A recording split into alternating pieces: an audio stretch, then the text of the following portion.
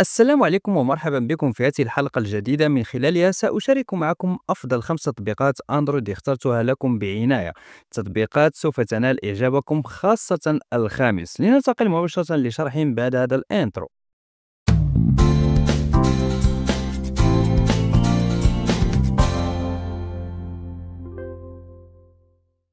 أهلا وسهلا بكم من جديد ونبدأ بهذا التطبيق الأول هو عبارة عن خدمة تخزين سحابي تتيح لك حفظ الملفات ومشاركتها والوصول إليها من أي مكان. التطبيق يعطيك 10 جيجا كما تلاحظون يتوجهنا إلى الإعدادات.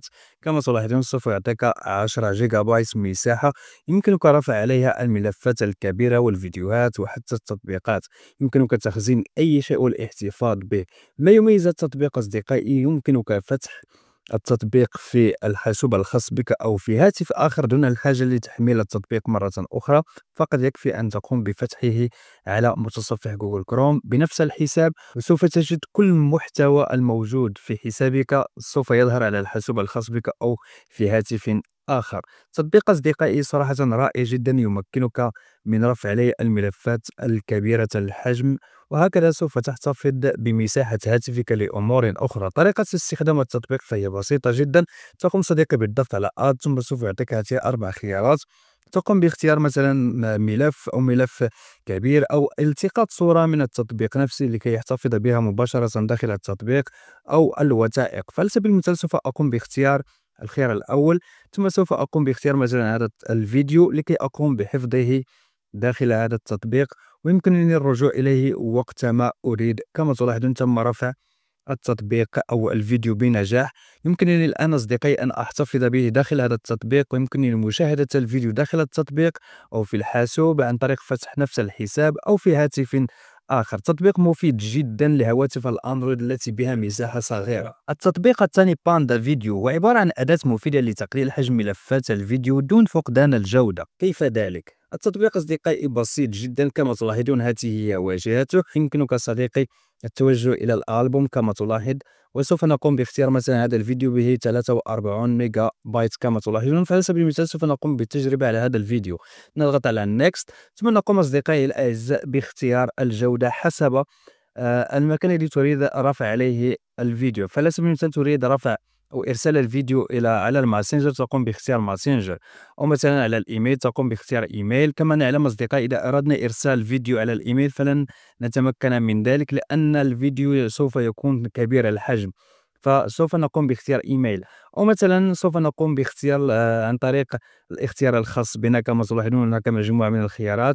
سوف نقوم بتركه كما هو أصدقائي ثم نضغط على خيار compress وكما تلاحظون أصدقائي في ثواني معدودة سوف يقوم بتصغير حجم الفيديو ولكن سوف تبقى جودة الفيديو أصلية. وهذا ما سوف نلاحظه أصدقائي عندما ينتهي التطبيق من تقليص حجم الفيديو الخاص به. كما تلاحظون تم الانتهاء من تقليص حجم الفيديو لكن الآن سوف نقوم أصدقائي بالمقارنة ب compare كما تلاحظون. هذا الفيديو الذي تم تقليص الحجم الخاص به إلى 3 ميجا بايت وهذا الفيديو الأصلي أصدقائي الأعزاء سوف نقوم بالرجوع. هذا الفيديو الأصلي به 43 ميجا بايت سوف نشاهد الفيديو الأصلي أولا. كما تلاحظون الجودة. الآن سوف نشاهد أصدقائي الأعزاء الفيديو الذي تم تقليص الحجم الخاص به. شاهدوا معي أصدقائي الأعزاء لا يوجد فرق بتاتا. وكما تلاحظون أصدقائي هنا هذا الفيديو حجمه 3 ميجا بايت والحجم الأصلي للفيديو هو 43 ميجا بايت وهذا ما مكننا أصدقائي من الحصول على 40 ميجا بايت ذاكرة لهاتفنا لأمور أخرى. يمكنك عمل نفس الطريقة على كل الفيديوهات الموجودة في هاتفك الكبيرة الحجم. يمكنك الآن أصدقائي أن تقوم بحذف الفيديو الأصلي وترك الفيديو الذي تم يعني تصغير الحجم الخاص به. دعونا أصدقائي الأعزاء نتوجه إلى الواجهة الرئيسية الخاصة بالتطبيق. وهناك يمكنك اختيار الفيديوهات الأخرى الكبيرة الحجم وتقليص الحجم الخاص بها وكل الفيديوهات التي قمت صديقي بتقليص الحجم الخاص بها سوف تجدها كاملة هنا. يمكنك صديقي حفظ الفيديو الذي تم تقليصه لكي يبقى في ذاكرة الهاتف الخاص بك ثم تقوم بحذف الفيديو الأصلي الكبير الحجم. التطبيق الثالث Notification Shortcut هو عبارة عن أداة مفيدة تتيح لك الوصول السريع إلى التطبيقات والإعدادات المفضلة لديك مباشرة من شريط الإشعارات على هاتفك الأندرويد. طريقة استخدام التطبيق أصدقائي فهي بسيطة جدا، كل ما عليك صديقي أن تقوم بالضغط على خيار Add Apps. بعد ذلك تقوم باختيار التطبيقات التي تستخدم بكثرة سوف تظهر عزيزي المتابع في شريط الإشعارات هنا. فعلى سبيل المثال سوف أقوم أصدقائي باختيار مثلا تطبيق جوجل كروم ثم أقوم بالضغط على Add Apps to Notification. وكما تلاحظون أنا قمت باختيار فيسبوك انستغرام ماسنجر واتساب وكذلك جوجل كروم. الآن سوف نقوم بتفعيل التطبيق عن طريق خيار Enable Notification. وكما تلاحظون سوف تظهر على هذا الشكل. بعد ذلك تقوم بتفعيل خيار Show Expand Icon كذلك Show Background. Background Color يمكنك تغيير خلفية الشريط عزيزي المتابع. والآن سوف تلاحظون أصدقائي هذه هي النتيجة. يمكنك البرور بين تطبيقاتك المفضلة والتي تستخدم بكثرة بهذا الشكل كما تلاحظون أمامكم أصدقائي. صراحة تطبيق خرافي جدا.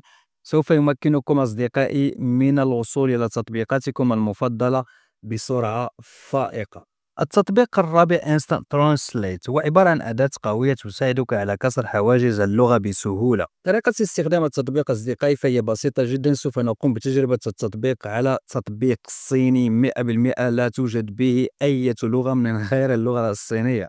فكما تلاحظون مثلا تطبيق بيلي بيلي لا يوجد به خيار تغيير اللغة فقط التطبيق باللغة الصينية ولكن عن طريق التطبيق أصدقائي تقوم باختيار اللغة الصينية على سبيل المثال هنا ثم نقوم أصدقائي بتحويلها من الصينية إلى اللغة الإنجليزية أو مثلا إلى اللغة العربية. ثم نقوم أصدقائي بتفعيل التطبيق عن طريق هذا الخيار ونقوم بتفعيله حتى يعطينا هذه الأيقونة الصغيرة الطائفة. الآن سوف نقوم بتجربة التطبيق أصدقائي. كل ما عليك صديقي لتقوم بترجمة أي شيء كما تلاحظون سوف تقوم بترجمته بشكل بسيط للغاية والسهل كما تلاحظون أصدقائي. كذلك سوف نتوجه إلى إعدادات التطبيق فهي إعدادات أصدقائي باللغة الصينية. فمثلا هنا يمكنك صديقي أن تقوم بترجمة أي شيء موجود في التطبيق كما تلاحظون بهذه الطريقة. أمامكم حتى تتمكن من فهم التطبيق وآلية استخدامه وطريقة استخدامه كما تلاحظون كل شيء يمكنك ترجمته صديقي المتابع. فهذا التطبيق يمكنك من ترجمة التطبيقات التي لا تدعم اللغة العربية أو الإنجليزية أو حتى المواقع صديقي المتابع. مثلا تريد تصفح مقال في جوجل كروم مثلا وذلك المقال بلغة أجنبية لا تفهمها فيمكنك استخدام التطبيق. هذا التطبيق أصدقائي يقوم بترجمة فورية على شاشة الهاتف الخاص بك عن طريق هذه الأيقونة الطائفة الصغيرة.